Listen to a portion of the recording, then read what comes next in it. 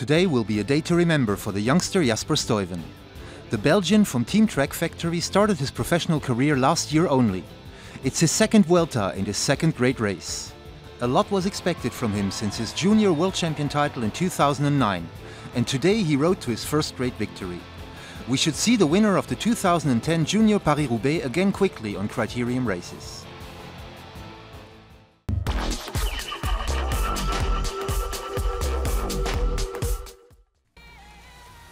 No great difficulties on stage 8 of this Vuelta.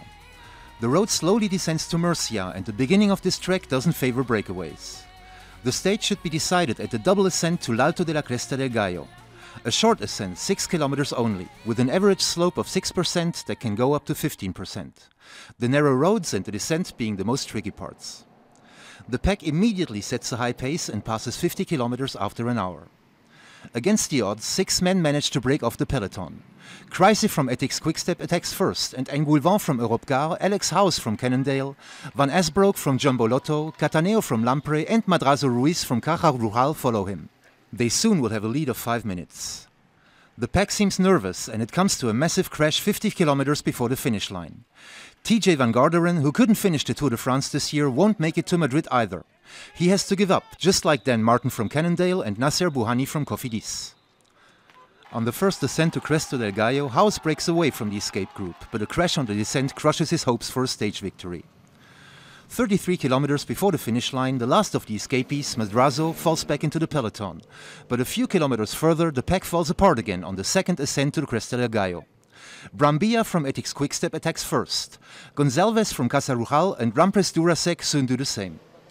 On the descent, three men, Gonzalez, Losada, and Kenny Elissonde, manage to part company with the pack, but the escape ends three kilometers before the finish line when they're swallowed by the red jersey group.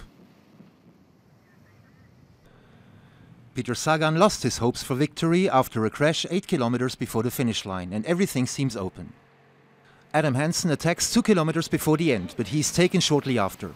It's the Belgian Jasper Stuyven from Trek who rides the strongest finish and passes the finish line before Pello Bilbao and Kevin Reza.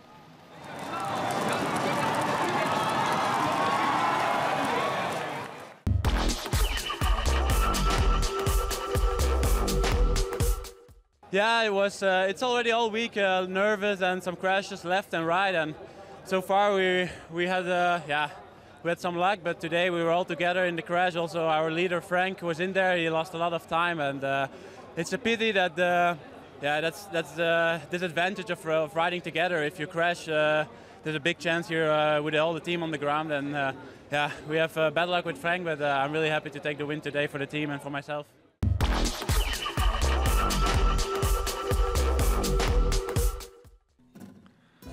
Nacer Bouhanni and Peter Sagan on the ground, several sprinters trapped in the double ascent, and the road was open for the domestics. Stuyven wins stage 8 before Bilbao, Reza and Visconti.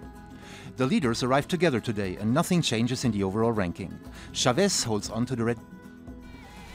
Tomorrow, the Vuelta 2015 will offer the second high-altitude finish. Another first category summit that should cause some havoc amongst the leaders.